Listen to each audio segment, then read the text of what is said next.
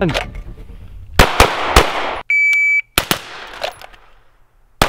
gun, gun, gun.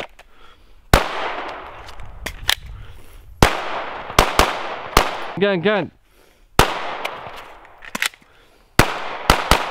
Gun, gun. If you've ever gotten your haircut at Walmart, by a friend, or on base, and you immediately regretted your decision, go ahead and hit that subscribe button. Make sure the bell notification icon is clicked, and like and comment with whatever the hell you'd like, because we have a weird community, so we're just to run with it. So we're going to do a review on the Safariland 6354DO, which is an optic-equipped holster, but realize that there are different versions of the 6354 out there for people who live in the year 2006 if you don't have an optic on your weapon.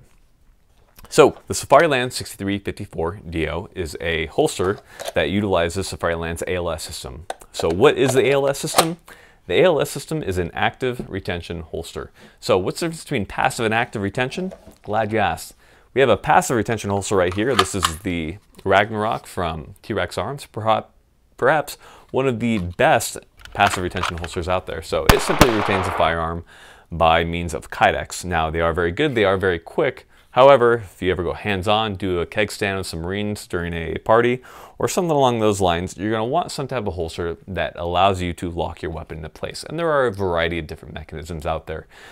But I believe, without a doubt, that the ALS system is the most superior.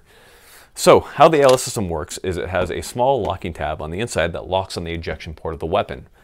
So that when you want to release it, what you do is as you draw down to grab your weapon, you hit the small nub. If you notice while dropping your hand, it will simply land on the nub naturally. So drawing is very smooth. Once you release that nub, there is no tension on the weapon, so it will simply slide out effortlessly.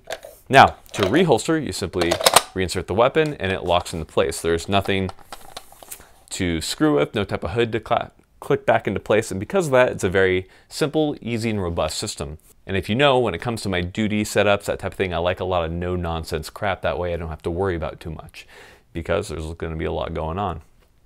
So on this particular holster, there is a Cordura wrapping around it. Now, why is there a fabric wrapping? Well, for a variety of reasons. If you compare it to one of the other ALS holsters from Safariland, and this one is spray painted to camouflage it, uh, there's still a little bit of shine to it. If you notice from the 7000 series, there's also shine on this one as well. So the cloth fabric helps reduce some of that shine, give a little bit more camouflage. Also, it reduces the IR signature. Now, how big of a deal is IR signature? I'm not sure, it depends on who you're dealing with.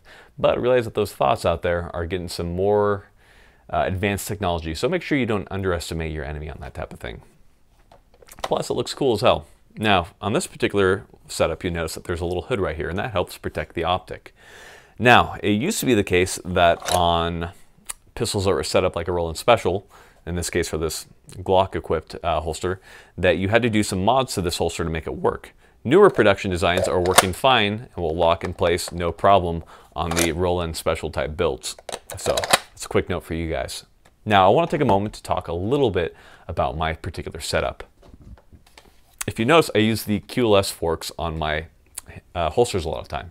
And that's not because I'm so much switching out holsters and changing up weapons, but rather because it's really convenient to be able to take off that holster easily when you don't need it. So for example, if I'm running a vehicle or something like that, I can simply pop that holster off, put it on the dash, that type of thing. And that allows me to sit in a vehicle more easily because, moving over to my pants setup, you notice that I have this on a mid-ride paddle. And because of that, it rides a little lower and that's incredibly uncomfortable in a car. So because of that, it's kind of nice to take it off when you need to. If you notice, I have a thigh strap running through the holster setup right here, and that allows me to keep the weapon a little closer to myself. So when I'm running, doing that type of stuff, there's a lot of weight on this pistol, so I want that swinging around. So this helps stabilize it a little bit more, and that's about as drop leggish as I'll ever get when it comes to a holster.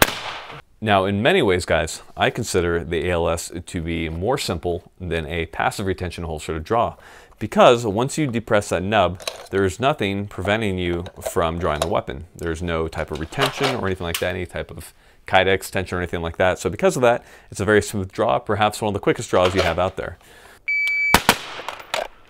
Uh, regarding this holster, there has been some concerns from people that perhaps debris getting in there will get caught up and jam the mechanism.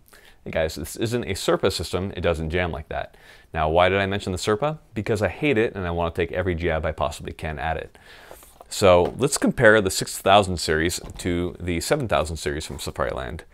A couple changes that they made is they made some raised portions in here to allow some standoff between the weapon and the holster itself. This allows debris to fall through more easily out the bottom. That way the mechanism doesn't get jammed up. Now, if you notice on the bottom, this one is closed off and there is not that much space between the holster and the pistol itself. Now me personally, I've gotten a lot of mud in here, a lot of sticks, twigs. I've never had anything jam up the mechanism, so that's not so much a concern. And I do prefer to have the bottom of my holster uh, closed. That way when I'm getting in the dirt, getting in the mud, there's not gonna be stuff coming up, obstructing my light, getting mud on it. That could be a problem or getting in the muzzle of my weapon. So I much prefer the close off bottom on my holsters. But of course, it's going to be a personal choice based on what you do and how you run and your gear and that type of thing. So make that choice based off, off of how you roll things. Now, I understand this holster is not going to be able to work for everybody because some people have to use some type of hooded holster. And we'll talk more about different types of hooded holster designs up here in the next couple videos. But for now, I just want to point out that as far as I'm concerned, the Safariland 6354 DO is perhaps the best duty type holster that one can buy. It's a smooth, quick draw, a simple reholster, and it is reliable, robust, and it will not fail you. No matter what, you're not going to get good with this unless you get a lot of reps with it. I practice with this and perhaps do maybe at, at minimum maybe 40 to 50 reps a night. So those reps help you get faster, smoother, bring the weapon on the target. So make sure that you're doing that type of thing. And depending on what you're doing, make sure that your transition, that you're doing your pistol draws realistically. If you're a military guy, you're probably not going to be going directly to your pistol or drawing your pistol from retention without anything else going on.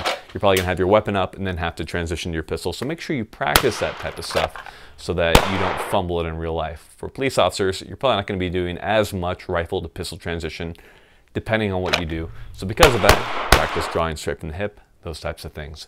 So guys, appreciate you taking the time to watch this.